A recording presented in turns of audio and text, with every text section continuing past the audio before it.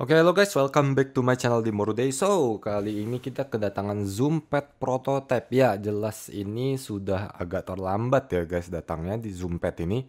Karena grup buy-nya sudah berakhir dari tanggal 8 Agustus kemarin. Cuma it's okay karena kita ada satu kendala dan lainnya ya prototipe-nya baru datang hari ini dan kita baru bisa review unboxing hari ini. Tapi sebelum itu kita masih punya beberapa ekstra dari grup buy kemarin yang nantinya kalau ini tidak terjual sekarang nantinya akan menjadi extra in stock ya guys. Jadi kalian masih bisa order sekarang dengan harga yang sama seperti di group buy. Kalian bisa masuk ke Discord Gipsmark ada linknya di bawah di deskripsi. Nah ini ada beberapa listnya ya guys. Jadi kalian bisa order ini sampai barangnya datang. Jadi kalau barangnya datang nanti jelas harganya pasti akan lebih tinggi biar adil gitu ya guys. Ya kalian bisa langsung cek aja di Discord. Kalau mau order juga ada caranya di Discord. Kalian tinggal DM Moru aja di Discord. Nanti kita akan buatkan invoice-nya dan kirim ke email kalian masing-masing.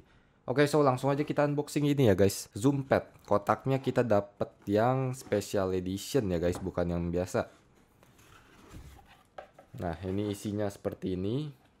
Jadi dia ada kotak boxnya, terus ini ada box. Ini ada box untuk knob dan sebagainya ya guys. Cuma ini kosong, nggak ada isinya. Lalu ini ada box buat USB kabelnya. Sayangnya ini juga kosong dan ini dia back zoom padnya ya carrying bag ya. Jadi kita dapat carrying bag ya lucu banget ini. Segede tangan. Nah langsung aja.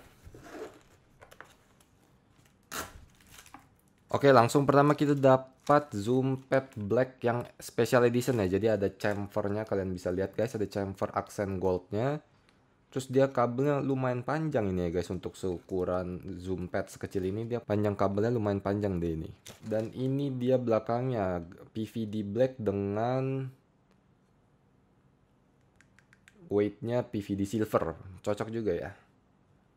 Oke okay, next kita dapat Ano Black ya. Jadi knobnya ini Ano Black nggak sama kayak silver tadi PVD silver. It's okay agak beda. Lalu ada keyboard fit ya guys, dapat mm, dapat 8 total putih dan hitam. Dapat skrunya juga lengkap. Kita dapat gasketnya. Lalu kita dapat dua pilihan yaitu polikarbonat dan FR4. Kita nanti bakal coba FR4-nya aja. Ya, lalu ini ada PCB-nya non flex cut. Ini sayangnya dapat knobnya bukan yang khusus night light ya guys. Jadi ini nggak ada cahaya tembus nanti.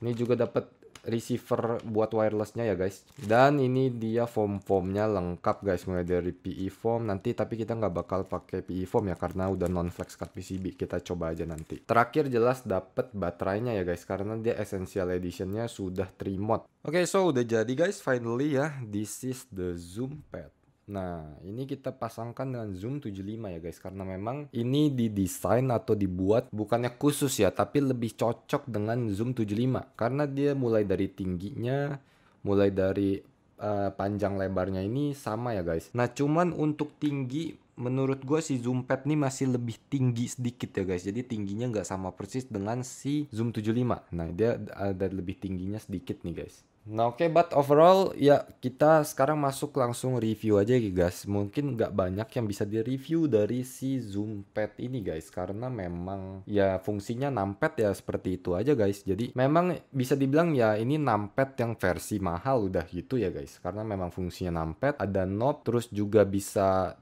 mode ya. Jadi bisa wireless, bisa bluetooth. Ada ini yang versi SE-nya dia ada chamfer accent goldnya. Jadi dia kelihatannya lebih premium, lebih mewah karena ada mengkilap-mengkilapnya gitu ya guys. Oke, sekarang kita bakal sound test singkat dulu.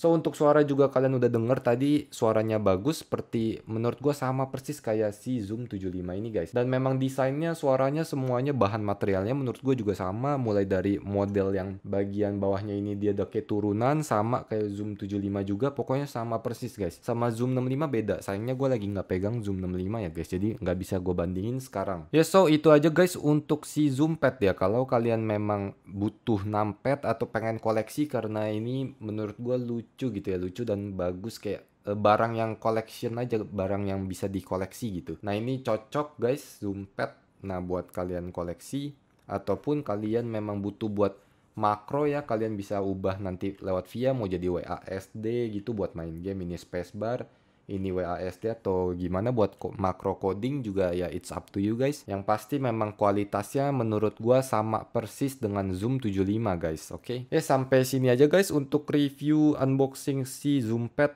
seperti itu semua pemasangannya gua tadi untuk apa perakitannya itu gua skip aja karena memang sama persis dengan Zoom 75 kalian bisa cek YouTube Zoom 75 gua aja itu sama persis cuman seperti biasa pasang plate pasang foam pasang baterai dan sebagainya gitu guys. Oke, okay, so ini aja guys untuk review dan unboxing Zoom Pad ya guys versi SE Special Edition Black. Oke, okay? see you on next video. Thank you and bye bye guys.